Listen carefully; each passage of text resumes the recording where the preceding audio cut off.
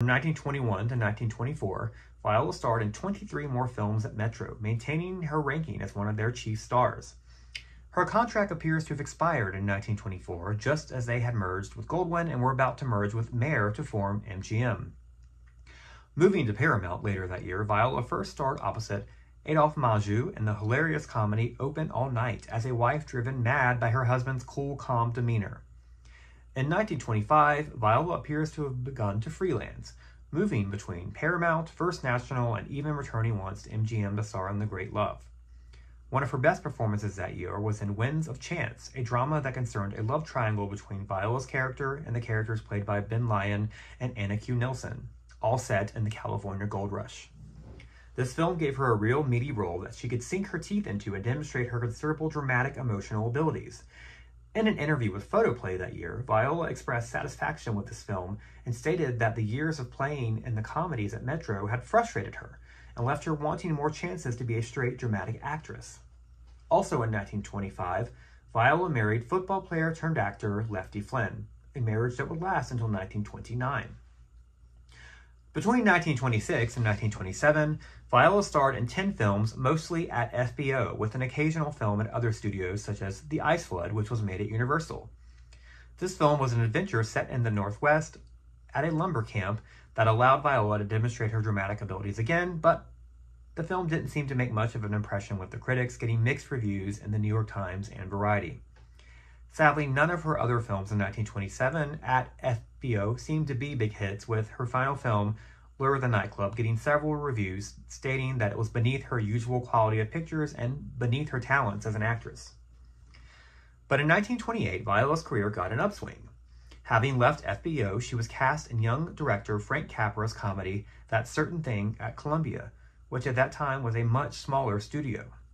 This delightful film saw Viola as Molly, a gold digger that marries a rich heir, played by Ralph Graves, for his money before actually falling in love with him, even after his father cuts off his inheritance. The film got Viola glowing reviews, particularly in Variety, who stated that she and Ralph Graves are excep- exceptionally good. However, despite this film's apparent success, it was Viola's only movie that year. In 1929, she made two more final silents at Poverty Row Studios Two Sisters and One Splendid Hour. Sadly, both of these films appear to be lost. Two Sisters would be fascinating to see because it gave Viola the opportunity to play a dual role of one good sister and one crooked sister and got her a great review in Photoplay.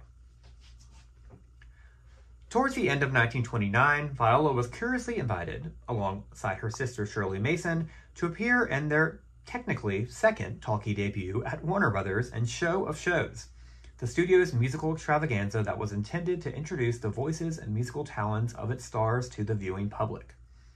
I say curiously because neither Shirley nor Viola were under contract at Warner Brothers, nor had they made a film there, and had each only made a few films at First National before it became part of Warner Brothers. And those films were made years before the merger. However, it happened I'm sorry, however it happened, if you know, please let me know. Viola and Shirley joined Dolores and Helene Costello and several other sets of sisters in the fun Meet My Sister number. The Flugrath sisters were dressed as two Dutch girls and danced a Dutch clog before joining all of the sisters in the song and dance finale of the number. Despite this film being a hit and Viola and Shirley being wonderful in it, neither sister appears to have been given a Warner's contract and both pretty much retired after its release, although Viola would star in two shorts in 1932 and 1933, including The Strange Case of Poison Ivy at Columbia. Several film sites have stated that Viola did not make a full transition to the talkies after the show of shows due to her voice not being suitable, but every review that I've seen that of that film that mentions Viola always praises her and Shirley. According to press and photoplay and motion picture news, Viola went back to headlining vaudeville in early 1930. Both Viola and Shirley appeared alongside Agnes Ayres and other stars in a 1930 picture play article about former big stars that are apparently now on Hollywood's waiting list. Several articles in all three magazines from 1930 mentioned Viola's successful vaudeville tour and several performance highlights from it. Clearly, she was still a big enough name to garner a significant amount of press as a movie star in movie magazines, even though she was no longer in the movies. So, why wasn't she in the movies? Maybe it was her choice. In 1930, she married for the third time to pro golfer Jimmy Thompson and appeared with him in Hollywood on Parade uh, a few years later, receiving a golf lesson as the camera took a tour of stars' homes in Hollywood. Again, this was five years after she stopped making feature length films, and she was still a big enough name to be included in a short film like this. In 1945, Viola divorced Thompson and, according to one article that I found, was working in a Los Angeles clothing store for several years to come, seemingly content to be away from the limelight. In 1956, she came out of retirement to appear in The Night of January 16th, a live television play on the Lux Video Theater program. In 1963, she made her final acting appearance on an episode of My Three Sons as a blind date to Bub, played by William Frawley. Other articles I found stated that along with her work at the clothing store, which she was still doing at this point, Viola enjoyed volunteering at the Motion Picture Country Home in Los Angeles with its patients. She would eventually move there herself in 1979. In 1976, Viola was interviewed by film historians Kevin Brownlow and David Gill for their incredible Thames TV documentary on silent film, Hollywood, which would be released in 1980. Viola told amazing stories about her debut in the Flickers, her move from New York to Hollywood, her work with Edison's Kinetophone, and what it was like to film close-ups, her friendships with Rudolph Valentino and Buster Keaton, and she also recounted her heartbreaking experience in witnessing Ormer Locklear's death. In 1986, at the age of 89, Viola was interviewed for another documentary by film historian Anthony Slide, Vi, Portrait of a Silent Star, in which she discusses her life and work in movies and on Broadway. Check out this short documentary on YouTube because at the age of 89, Viola is still sharp, lovely, and an incredible storyteller. A year later, in 1987, Viola Dana passed away from natural causes at the age of 90 at the Motion Picture Country Home in Los Angeles. So we are left with the question, why did Viola Dana not make the full transition to the talkies? I honestly don't know if I have an answer to this question. Earlier, I mentioned how modern film sites have stated that her voice deemed Viola unsuitable for talkie stardom, but I can't find any evidence of that and wonder if she's just another victim of that common folklore legend of silent stars couldn't make it in the talkies due to their voices, along with Clara Bow, John Gilbert, Corinne Griffith, etc.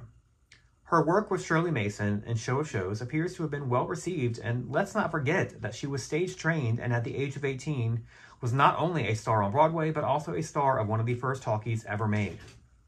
A more logical explanation, in my opinion, for Viola's lack of talkie stardom in the 30s is that, first, her popularity seemed to wane, but not vanish completely, at the end of the 20s due to the quality of her films at FBO not being as high as her previous films had been at Metro which led to her probably becoming disillusioned with the industry. And then, second, due to this disillusionment, Viola seemed to content to leave the industry behind. She returned to her roots on the vaudeville stage and then focused on her new marriage. However, since her name was still in all of the movie magazines for the majority of the 1930s and she was featured in that 1934 Hollywood on Parade short, it proves that she was still popular enough to be remembered and discussed often leading me to, the, to make the conclusion that the decision to not pursue a full-time talkie career must have been hers. However, that is just my conclusion. If you have any more answers to why Viola did not achieve stardom in the talkies in the 30s, please let me know. Several of Viola's films have amazingly survived and are available to watch on YouTube.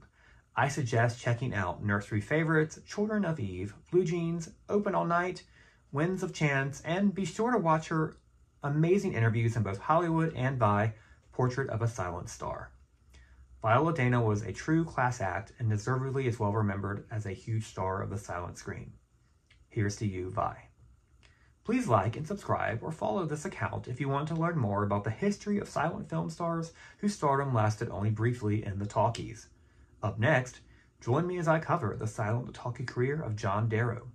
Thank you so much for joining me. I hope you have a wonderful week.